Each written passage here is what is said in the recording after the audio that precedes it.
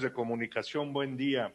En tema vacunación, recordarles que a partir del día de mañana al, al, jueves 3 de febrero iniciamos la vacunación en 80 municipios en el interior del estado. Habrá 111 puntos de vacunación.